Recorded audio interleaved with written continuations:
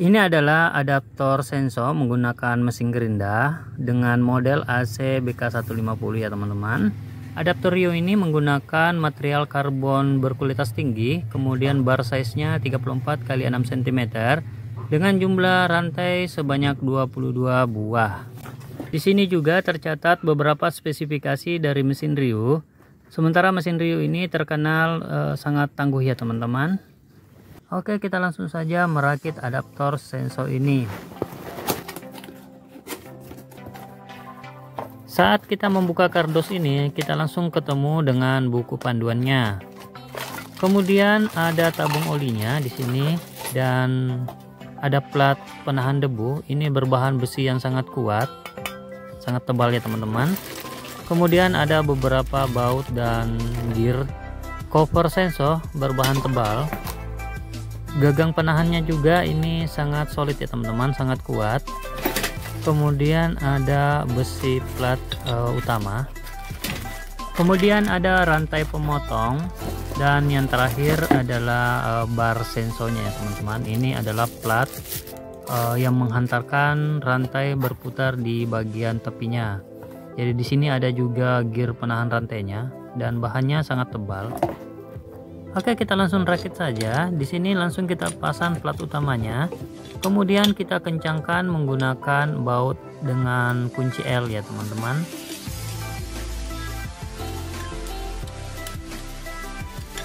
Lanjut kita pasang gear rantainya dan kita kencangkan.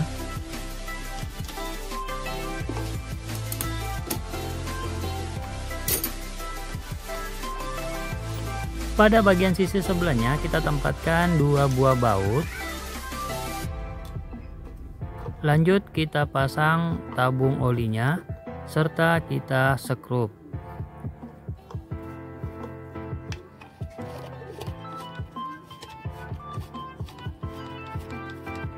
Sampai di sini kita langsung memasang rantai pemotong dan bar pemotongnya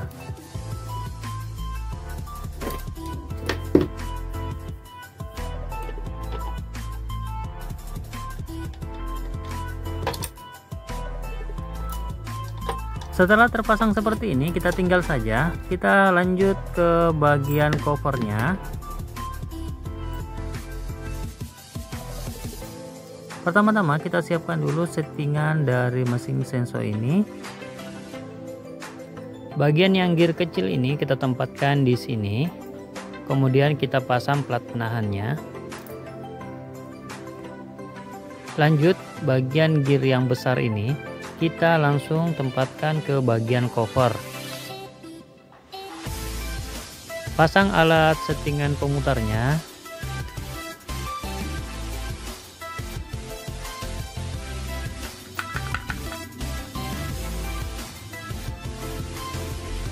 Cara pemasangan alat settingan ini kita masukkan seperti ini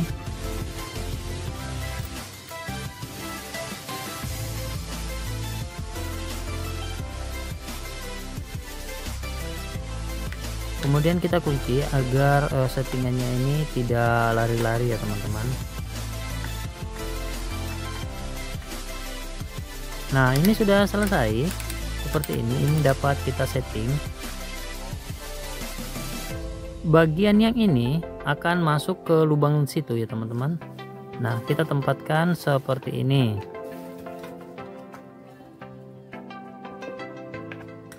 kemudian kita pasang bautnya dan jangan lupa memasang plat penahan debunya.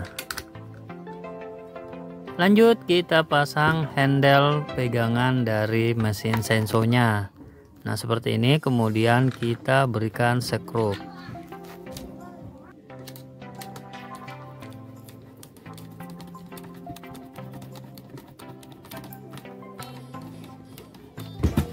Di sini terdapat kelebihan dari alat-alatnya ya teman-teman ada dua buah.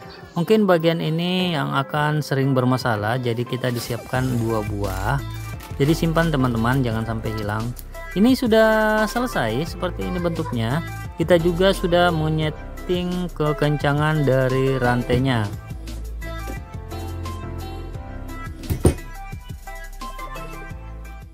Saat kita nyalakan suara dari sensonya lebih halus ya teman-teman dibandingkan senso menggunakan uh, bahan bakar minyak. Senso ini oh, nanti kita akan coba di video selanjutnya. Jadi jangan sampai ketinggalan ikuti channel ini dengan cara mengklik tombol subscribe-nya. Sekalian juga like jika video ini kalian suka. Sampai jumpa di video selanjutnya. Bye bye